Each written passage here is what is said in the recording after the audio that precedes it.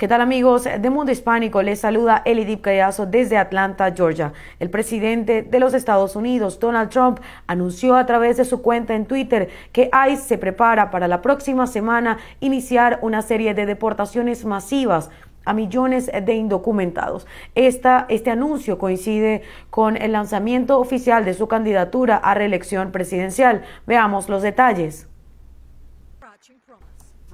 El presidente Donald Trump confirmó a través de su cuenta de Twitter que la semana que entra su gobierno realizará un gran operativo comandado por la Oficina de Inmigración y Control de Aduanas, con el que pretende deportar a millones de indocumentados. La próxima semana ICE comenzará el proceso de remover a los millones de extranjeros ilegales que ilícitamente han encontrado su camino hacia los Estados Unidos. Serán eliminados tan pronto como entren, advirtió Trump en Twitter. México usando sus fuertes leyes de inmigración, está haciendo un muy buen trabajo al detener a las personas mucho antes de que lleguen a nuestra frontera sur, agregó el presidente en un segundo mensaje en el que reconoció al gobierno del vecino país del sur. Hasta el momento no se han dado a conocer más detalles del mega operativo confirmado por el presidente Trump, pero su mensaje es una clara señal de alerta para los millones de indocumentados que viven bajo la sombra en territorio estadounidense.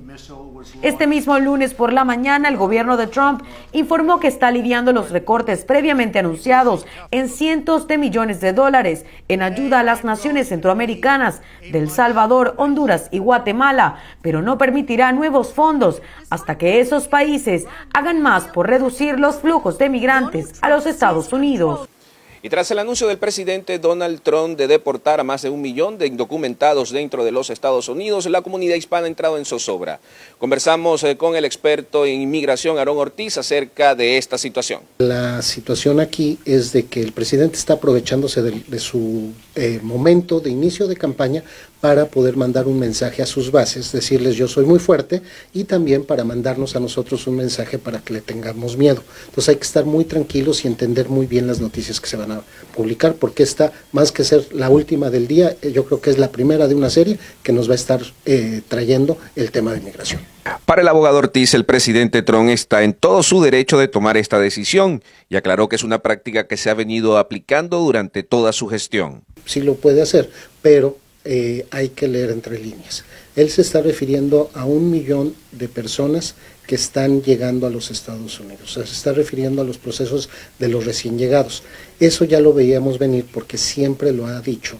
Desde hace dos años, cuando se vino la primera oleada, ya dentro de su administración, porque la oleada de los migrantes ha estado llegando desde la época de Obama, él dijo que le daba en aquel entonces a Jeff Sessions instrucciones para que aceleraran los procesos de deportación de los recién llegados, lo cual han estado haciendo hizo un llamado a toda la comunidad hispana a no tener miedo y no entrar en pánico y sobre todo a mantenerse informado de la situación. Que no tengan miedo, pero también no caer en la histeria colectiva de que ya nos van a deportar. Migración no tiene la capacidad de ir a mi casa porque no sabe ni en dónde estoy y entonces ir y, deportarme. Lo hacen realmente en lugares estratégicos que ellos saben eh, porque van a buscar a personas en específico, no lo hacen eh, en forma, eh, ¿cómo se dice?, al azar. para ir a deportar. Entonces, busquen, mantengámonos tranquilos, mantengámonos informados. Por su parte, Adelina Nichols, presidenta de GLAR, manifestó que el presidente lo que trata es de crear zozobra dentro de la comunidad lamentable, ¿verdad?, que la política federal se esté manejando en estos términos a una comunidad que tanto ha ayudado a este país. Sin embargo, eh, creo que no hay mejor combate al miedo y la zozobra que organizarse, estar atento, saber cómo qué contestar en caso de que hay se presente en nuestra casa, en nuestra comunidad o incluso dentro de nuestro trabajo. Recordar que eh, si ellos no tienen una orden judicial no podrán pasar. Eh, y al mismo tiempo debemos guardar silencio, no firmar un solo documento que, aunque esté en español, no estemos entendiendo. Y, que eh, esta es una de las mejores de crear una cultura de resistencia. No hay mejor defensa que una comunidad organizada y una comunidad que sepa defender sus derechos constitucionales.